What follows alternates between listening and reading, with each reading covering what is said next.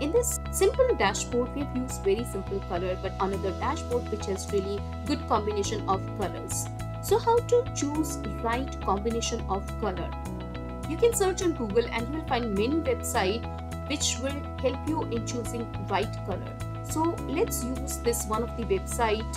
You can see we have so many color combinations and all hex codes are given here. This is a simple report and we want to use maybe a different color. So let's pick our color first for background. For background, we want to use this light color. So let's just copy this hex code. We can open our report.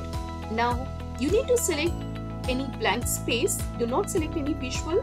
Click on canvas background and from here you can go to mode color and you can paste your hex code. Now you just need to change transparency level to see the effect of the color which you have applied in background. Now we want to change color for these columns, these visuals. We can copy another color. Let's copy this code. We can also customize our current theme from here.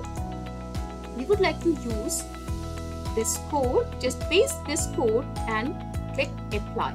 And you will see that all visuals has changed according to our theme. So this way you can use these hex code.